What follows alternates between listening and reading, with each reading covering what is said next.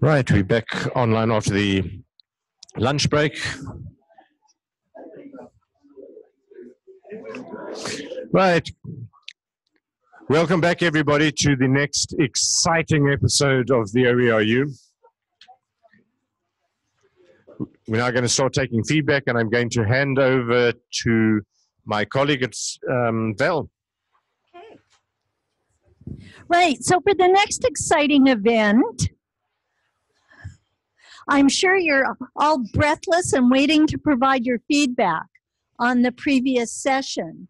So we've got about um, five minutes per group, and we can ask um, perhaps uh, one person from each group to do the to give us the feedback and to pull up that what what what did you call it the ether Etherpad, yeah. the ether pad sort of could be an anesthetic but i don't want you to fall asleep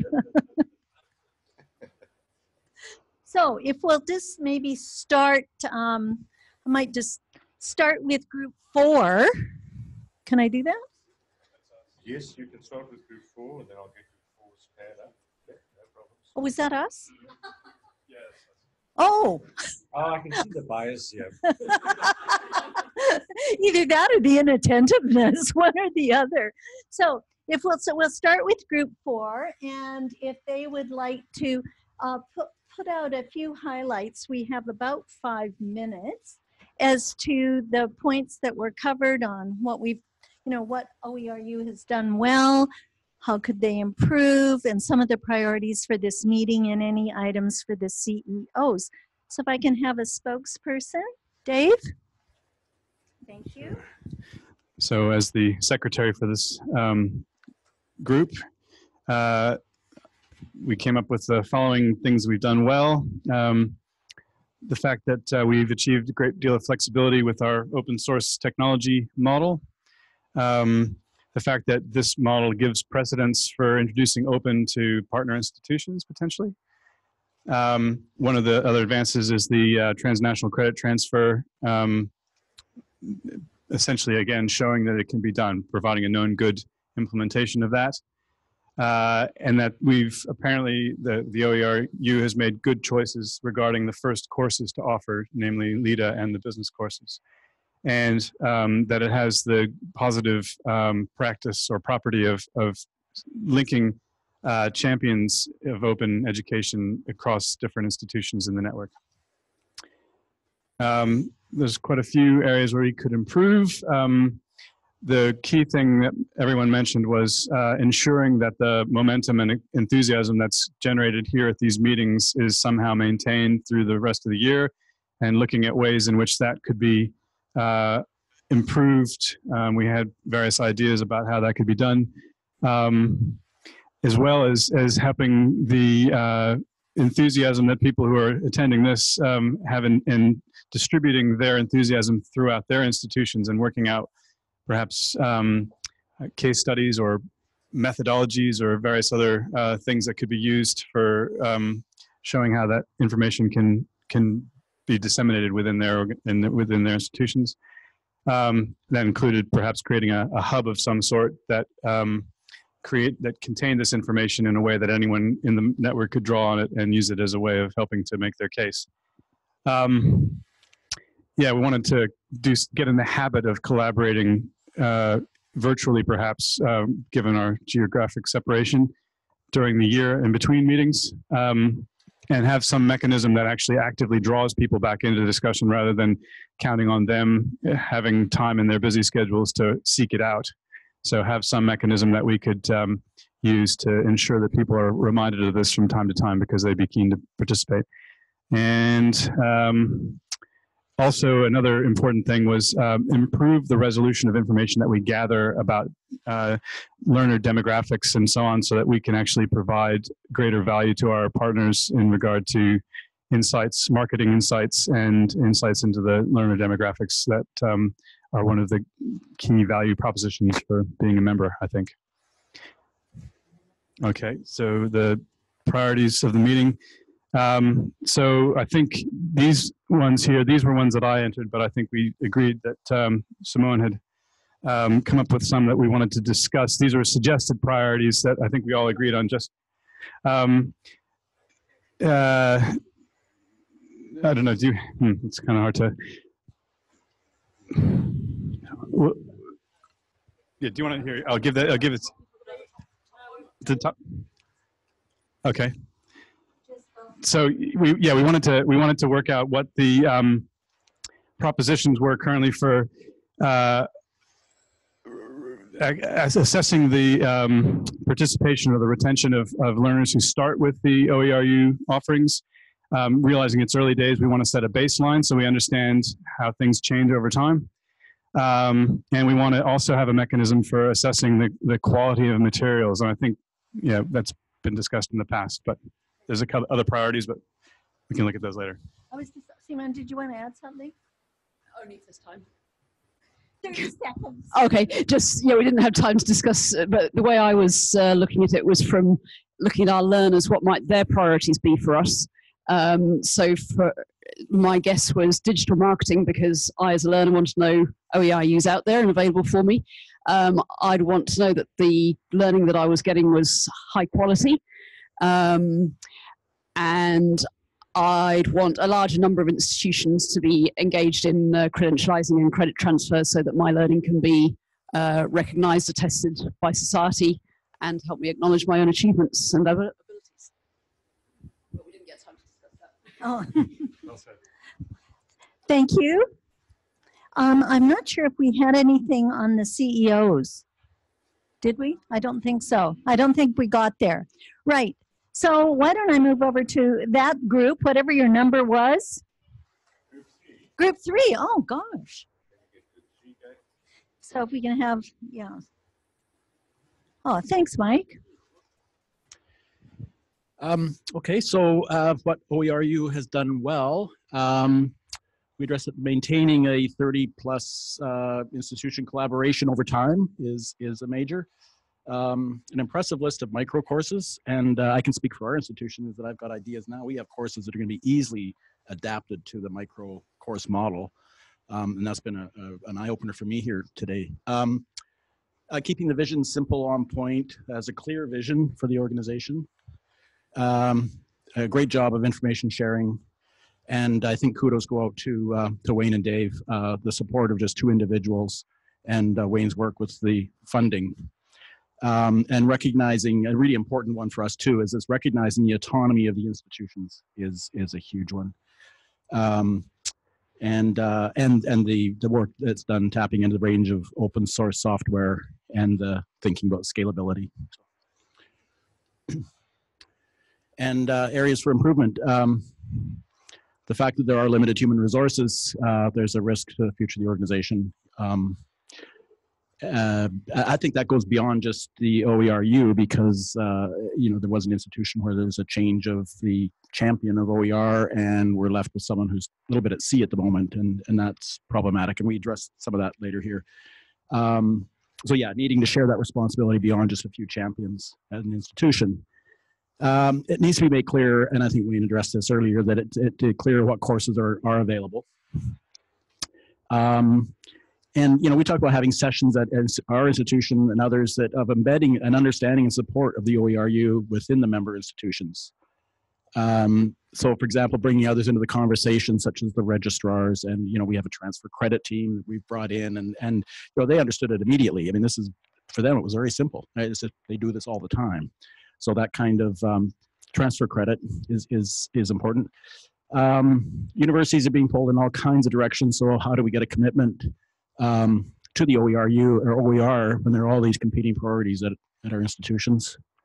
Um, and to clarify the, what the actual costs are to students because it isn't necessarily free. Um, and crowdsourcing funds from the public using open source models where possible. And then our three priorities, uh, develop a strategy for the OERU embedded in institutions, so perhaps a marketing campaign, um, and how we're going to augment the labor force of two beyond just goodwill. And again, again the website uh, polished and ready for students. So clarity about the course offerings, costs, and the process for what can you do once you've taken some of these courses? How are you going to get your credit and credentialed? And we did have one issue for the CEO's meeting. Um, I should have it here. Uh, and that was how to augment the labor force beyond the two. Yeah. So, so that's for the CEOs. Uh, how to augment the labor force of two people. How do we? We you, you need more than more than the two. Okay. And you just did it in three minutes. Wow.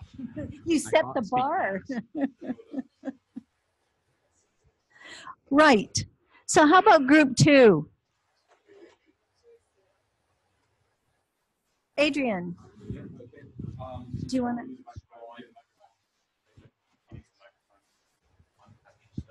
You're happy to, you're happy to stay seated? Okay. Okay, Okay, so we discussed uh, what has the OERU done well. Um, there was a perception from uh, uh, the folk who had only seen the OERU website for the first time recently that the user perspective of the website is that it's very smooth and that it's easy to navigate and um, and that there is a really good quality to, to the overall design. Uh, the other thing that they have done well is community collaboration, open consultation towards planning is to be commended, and the transparent processes are clearly mature and transferable. Uh, where can the OERU improve? We had that the sense of how to become credentialed is somewhat opaque. So, for example, if the learner is comparing the experience and price, uh, of other offerings. So, for example, I'm coming and I've got my different tabs open. I've got edX, I've got Coursera, I've got OERU. It's part of edX um, and Coursera's business model to have that this is how much this is going to cost you, this is what you're going to get. Uh, there is no such easy comparison for the OERU. For partners, there was a concern raised about uh, them being able to access the contact details for students because there was a feeling that partners would want to uh, get into the OERU as a way of perhaps investing in turning leads into paying enrollments. So if they were to um, if they were to get access to that data, so that they would then be able to contact students. Uh, also, the, the value proposition to a prospective partner there's a, a, range of different perspectives that need to be catered to, and that can be from a university who is saying, well, we have got a very strong social justice mission. We believe in access to education, and we are doing this uh, for altruistic reasons.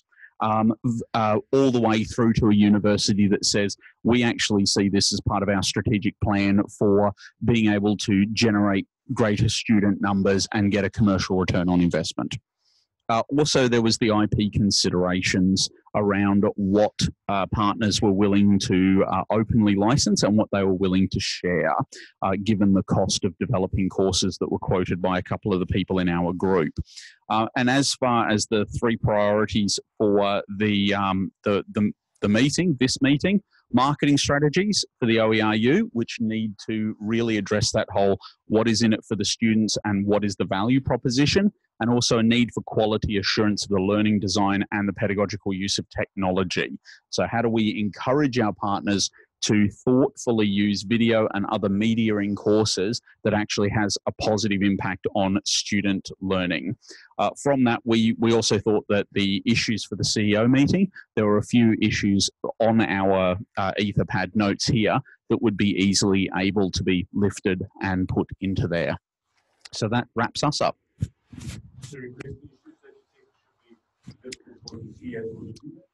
Um, we could we could do that. Yes, yes. There we go. Yep. I'm giving you my deer in the headlights look and just nodding. Thank you, Adrian. Group one.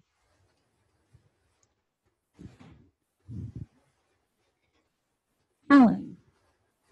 Thank you. Uh, well, the first bit was the easy bit, uh, brainstorming a bit around what makes OERU so great. We've got partners from five continents. We've demonstrated excellence in open source technology development. I shout out to David and his uh, that presentation this morning. I only understood a third of it, but I was impressed. Um, yeah, yeah.